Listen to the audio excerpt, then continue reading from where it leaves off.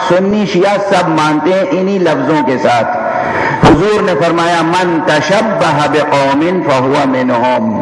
जो किसी कौम की शबीह बन जाए, वो उसी में से शुमार होगा। क्या? किसने कहा? हुजूर फरमाते हैं, जो किसी कौम की शबी इख्तियार कर ले, जो किसी कौम का लब्बादा ओढ़ ले, किसी कौम की मिसल और शबी बनना चाहे, मन तशब्बा, जो खुद किसी कौम की शबी बन जाए फहुआ मिनहुम, वो उसी में शुमार होगा।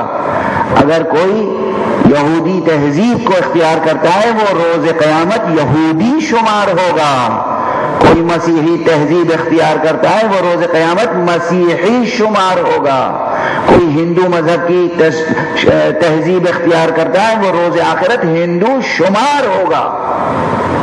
इसका ऐलान है पैगंबर अक्रम सल्लल्लाहु अलैहि वसल्लम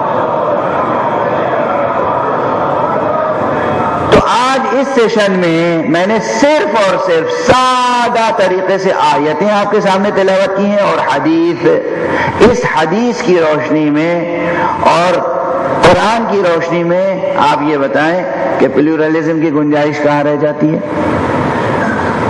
यानी प्लूरलिज्म के मानी है कि सबका एहतराम कीजिए। अगर सबका एहतराम लाजिम था तो पैगंबर को अल्लाह ने हुक्म ही क्यों दिया कि दावत दो? पैगंबर ने खतूत क्यों लिखे? किसरा के नाम? कैसर के नाम? तमाम सरबराहा ने ममालिक के नाम के इस्लाम इख्तियार करो कि किस लिए खतूत लिखे?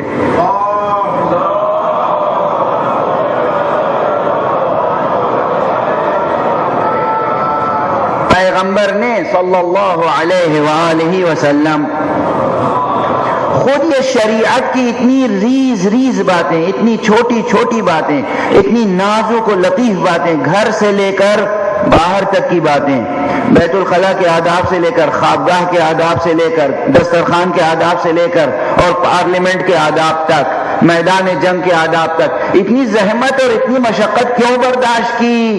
कहते थे कि अल्लाह एक है और मैं उसका रसूल, बाकी तुम्हारा जो जी चाहे करो। ये ईमान और एतकाद काफ़ी है। प्लूरलिज्म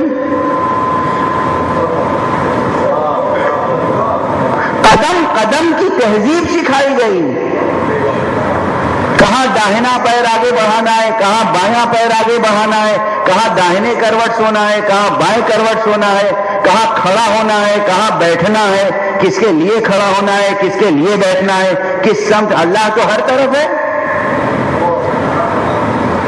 अगर प्लूरलिज्म में थियोरिटिकली या प्रैक्टिकली कुछ भी असालत हकानियत हकीकत का अंसुर होता तो कम से कम इतना होता कि नमाज़ के लिए किबला ज़रूरी ना होता।